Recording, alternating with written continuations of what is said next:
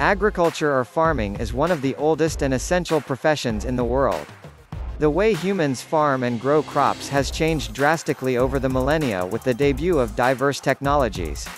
With the population of the world continually growing and land becoming scarcer, the onus is on the farmers and agriculturists to get more creative and efficient in producing more quality crops using less area. Despite agriculture being a $5 trillion global industry, the sector is struggling to manage threats to insulate crops against pests, climate change, monocropping, and prevalent pesticide use. These were the reasons for agriculturists to adopt artificial intelligence AI in agriculture. AI in agriculture can be primarily attributed to climate change, population growth, and food security concerns.